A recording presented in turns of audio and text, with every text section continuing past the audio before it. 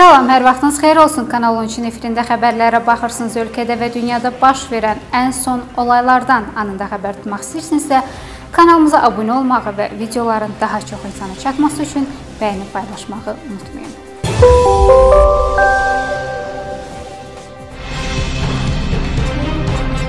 Ölkə üzrə peyvənd olunan vətəndaşların sayının artması və eyni zamanda yoluxma hallarının dinamikasının davamlı şəkildə azalmasını nəzərə alaraq xüsusi karantin rejimi çərçivəsində yumşalma tədbirlərinin növbəti mərhələsinin tətbiqi ilə bağlı qərar qəbul edilib. Nazirlər Kabineti yanında operativ qərargahın qərarına əsasən 2021-ci il oktyabrın 1-dən etibarən həftə sonu ictimai nəqliyyatda, həmçinin Bakı metropolitenində sərnişin daşıma fəaliyyətinin dayandırılması ilə bağlı məhdudiyyət ləğv olunur. Əlavə olaraq olaraq 2021-ci il oktyabrın 1-dən qeyd olunan iş və xidmət sahələrinin fəaliyyətlərinin bərpa edilməsi ilə bağlı qərar verilib. Belə ki, bunlar istirahət və əyləncə məkanlarının, həmçinin uşaq əyləncə məkanlarının fəaliyyəti Ümumi tutumu 50%-dən çox olmamaq şərti ilə mədəniyyət obyektlərinin, eləcə də konfrans zallarının, kinoteatrların və teatrların fəaliyyəti, iri ticarət mərkəzlərinin nəzdindəki uşaq və digər əyləncə mərkəzlərinin və ümumi tutumunun 50%-dən çox olmamaqla kinoteatrların fəaliyyəti bərpa edilir. Fəaliyyəti bərpa edilən iş və xidmət sahələri saat gecə 12-yədək xidmət göstərir və həmin iş və xidmət sahələrinin qapalı məkanlarında göstərilən xidmətlərdən yaşı 18-dən yuxarı olan şəxslər yalnız COVID-19 pasportuna sahib olduqları halda istifadə edə bilərlər. Müəyyən səbəblərdən peyvənd oluna bilməyən şəxslər COVID-19 pasportu tələb olunan məkanlarda əldə etdikləri COVID-19 infeksiyası əleyhinə peyvəndə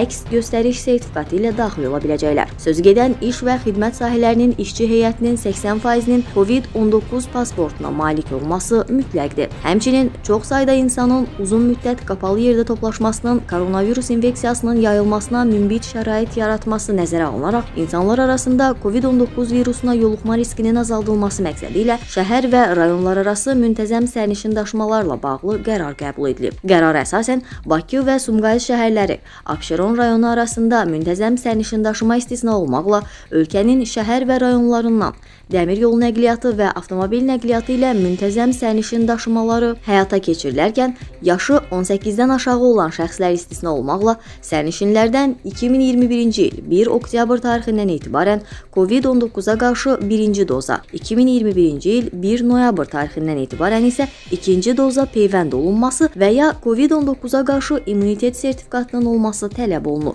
COVID-19 pasportlarının verifikasiyası xüsusi mobil tətbiq etmə vasitəsilə həyata keçiriləcək. Sözü gedən tətbiq etmə Azərbaycan Respublikasının prezidenti yanında vətəndaşlara xidmət və sosial innovasiyalar üzrə Dövlət Agentliyi tərəfindən yaradılıb və 1 sentyabr tarixindən COVID-19 19 pasportu tələb olunan bütün məkanlarda istifadə edilir.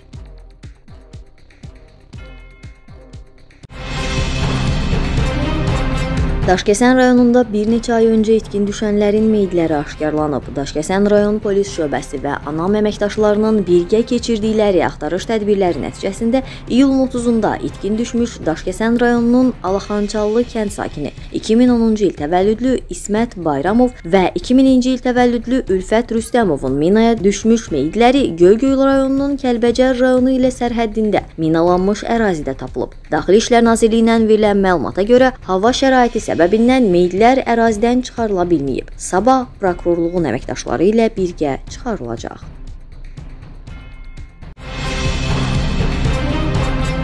Güclü yağış rayonlarda fəsad törədib. Hazırda işlər Balakən rayonunun Tülü və İtitala kəndlərində davam etdirilir. Bu barədə Fövqəladə Hallar Nazirliyinin mətbuat xidmətindən məlumat verilib. Bildirilib ki, sentyabrın 23-ü gecə saatlarından başlayaraq respublikanın şimal-qərb bölgəsinə yağan intensiv yağışlar nəticəsində bir sıra dağ çaylarında sululuğun artması səbəbindən baş vermiş qısa müddətli sel və daşqın səbəbindən Balakən və Zaqatala rayonlarında yaranmış fəsadların aradan qaldırılması istiqamətində istiqamətində Fövqəladə Hallar Nazirliyinin qüvvələri, o cümlədən Dövlət Yanğından Mühafizə Xidməti, Mülki Müdafiə Qoşunları, Xüsusi Riskli Xilas Etmə Xidməti, Aviasiya dəstəsi və Şimal-Qərb Regional Mərkəzinin müvafiq qüvvələri tərəfindən zəruri tədbirlərin görülməsi təmin olunub. Bu çərçivədə ötən gündən Nazirliyin qüvvələri tərəfindən su basmış ərazilərdən suyun kənarlaşdırılması məqsədi ilə başlanılmış işlər gecə saatlarında da davam etdirilib.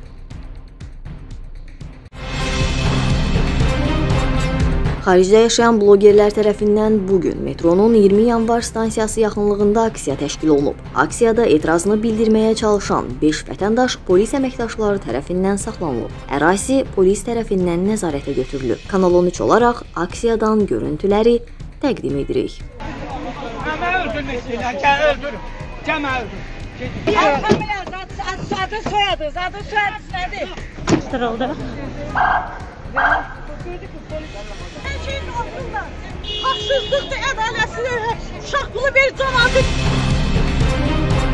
Türkiyə prezidenti Rəcəb Tayyib Ərdoğan Rusiya ilə münasibətlərdə daha güclü bir dövrə işarə edib. Gələn həftə Soçidə Rusiya prezidenti Vladimir Putinlə təkbətək görüşündə müzakirə mövzusundan biri Qafqazda sülh üçün adılacaq addımlar olacaq. Prezident Rəcəb Tayyib Ərdoğan Qafqazda təhlükəsizlik və sülhün təmin edilməsi üçün kritik addımların atılacağı və Ankara-Moskva münasibətlərində daha güclü bir mərhələnin başlayacağını bildirib. Ərdoğan Amerika Birləşmiş Ştatlarının 76-cı Baş Assambleyası üçün üçün səfərinin son günündə Nyu-Yorkdakı Türk evində jurnalistlərə bu barədə açıqlama verib. Sentyabrın 29-da Soçidə Rusiya prezidenti Vladimir Putinlə görüşəcəklərini xatırladan Ərdoğan bildirib. Stat. Vladimir Putin Azərbaycanda dövlətçilik qabiliyyətini tam şəkildə nümayiş etdirməsəydi, Azərbaycanı bu şəkildə tərk etməzdik. Amma bunu doğru qərarlarla ortaya qoyduğu üçün Azərbaycanı çox müsbət bir şəkildə tərk etmək şansımız oldu. İndiyə qədər Azərbaycanda sırf bir fəaliyyət fəaliyyət var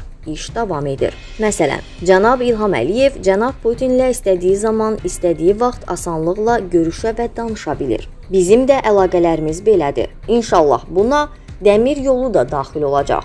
Bu yolun inşası çox əhəmiyyətli addım olacaq. 5 və ya 6 platforma dediyimiz yer var. Hazırda bu məsələ ilə bağlı Paşinyandan müsbət siqnallar gəlir. İndi bu müsbət siqnallar bu mövzuda bəzi addımlar atacaq. Başqa sözlə desəm, bölgəni sülh baxımından yaxşı bir mövqeyə daşımaq imkanımız olacaq. Görüşümüzdə bunlar təbii ki, mövzuya daxil ediləcək. Bu yolla Türkiyə-Rusiya münasibətlərində daha güclü və fərqli bir mərhələyə girəcəyimizi ümid edirəm deyə Rəcəb Tayyib Ərdoğan bildirib.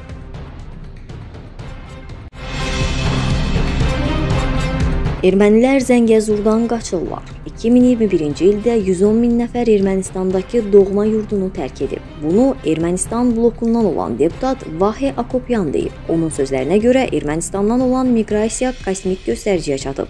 Deputat Zəngəzur vilayətindən ciddi emiqrasiyanın başladığını bildirib. Ən böyük emiqrasiya bu vilayətdəndir. İnsanlar çarəsizcəsinə öz yaşayış yerlərini tərk edirlər deyə deputat əlavə edib.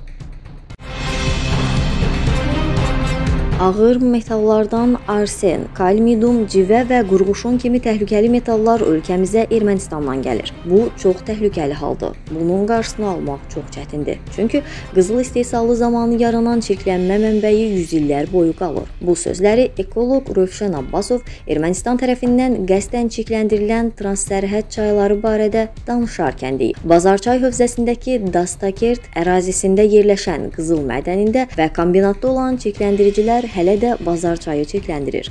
Lakin qızıl yoxdur, çoxdan tükənib. Mədən işini dayandırıb, kombinat bağlanıb. Azərbaycan ərazisindən axan transsərhəd çaylar Ermənistan tərəfindən qəsdən zərərli maddələrlə çirkləndirilir. Bu çirklənmələrə istehsalat bulantıları və kanalizasiya axınları da daxildir. Araz çayı Kür çayının ən böyük sağ qolu olmaqla yanaşı Ermənistanla transsərhəd çaydır və Azərbaycanın əkin sahələrinin suvarılmasında həlledici rol oynayır. Lakin çaydakı suyun keyfiyyətinin ciddi dəyişikliyi səbəbindən onun məişət və kənd təsərrüfatı ehtiyacları üçün istifadəsi son dərəcə mənfi təsirlərə yol aça bilər. Araz çayı hövzəsinə aid olan Oxçu çay, Qazan çay və Mehri çay da çox çirklənmiş çaylardır. Bu çaylar əsasən Qafan, Qacaran, Mehri və ətraf ərazilərdə olan mis, molibden kombinatları, qızıl mədənləri və bu mədənlərdəki buxarlanma hovuzlarının tullantıları ilə çirkləndirilir deyə ekoloq qeyd edib.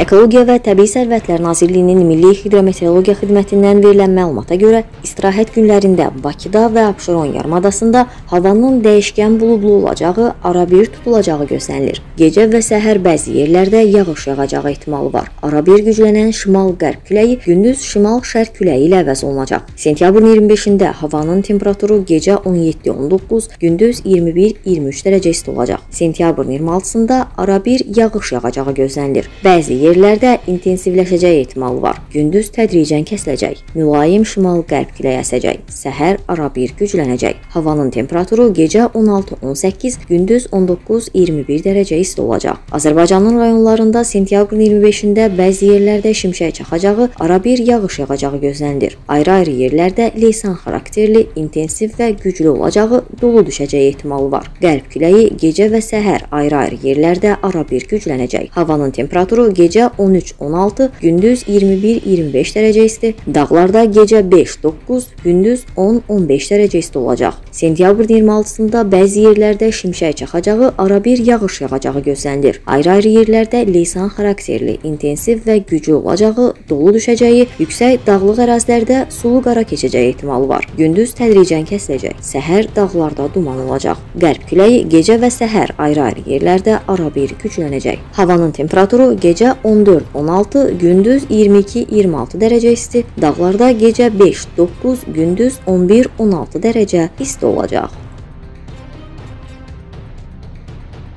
Bax belə bu günlük və bu saatlıq bizdən bu qədər. Növbəti gündə görüşmək ümidi ilə hələlik